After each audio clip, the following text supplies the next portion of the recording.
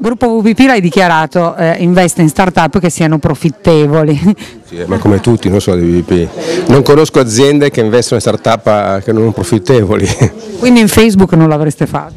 No, è diverso, non è quello, perché il, il punto non è quando tu investi, ma quando un'azienda, una start-up arriva ad avere delle dimensioni tali per cui rappresenta tanti interlocutori da una parte e un potenziale di fatturato importante ha una sua storia, diventa interessante. Noi non siamo nel business di aiutare le aziende a crescere, nel, nel business di aiutare i nostri clienti a crescere attraverso i servizi, quindi compriamo delle aziende che abbiano una pertinenza e una rilevanza per il nostro business e che abbiano dimostrato nell'arco degli ultimi 2, 3, 4 anni di avere una capacità in termini di business di sviluppare fatturato e profitto, mi sembra logico.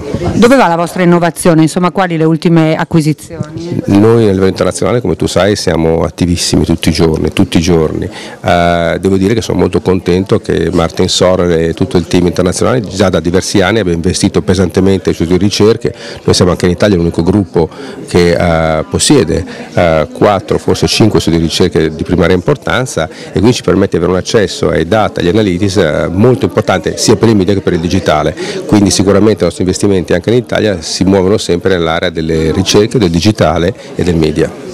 Non a caso, insomma, proprio al vostro incontro con H-Art, eh, parlando dell'ultimo Austin, no? si portava esempio un Yahoo che si riporta in casa il call center. Arriveremo a questo anche per le agenzie di pubblicità? Non lo so, so che a noi comincia a essere importante portarci in casa eh, gente che culturalmente e navaricamente possa capire questo cambiamento e viverlo. E infatti non a caso mi sembra che voi come testata abbiate spesso parlato con Ventimiglia e con Matteo Sarzana come inviati speciali da Austin, quindi vuol dire che almeno dal punto di vista di human research stiamo muovendo bene.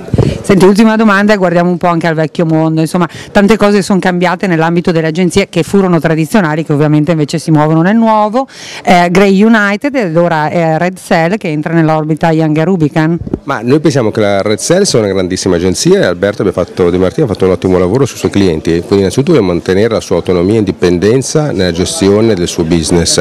È chiaro che dobbiamo dargli la capacità di poter sviluppare una proposta e un supporto per i suoi clienti anche al di là della realtà italiano in cui ho operato fino ad oggi. Quindi sicuramente se questa cosa andrà in porto credo che RSI si potrà collocare perché no nel gruppo Young che mi sembra altre sette agenzie. E acquisizioni italiane? Abbiamo una, quattro acquisizioni di cui stiamo discutendo adesso, eh, nelle aree in cui abbiamo prima citato. Mi non puoi fare nomi? No. Ma conosciuti che ci faranno dire wow? Mi auguro che dopo le vacanze possiamo parlarne come cosa fatta.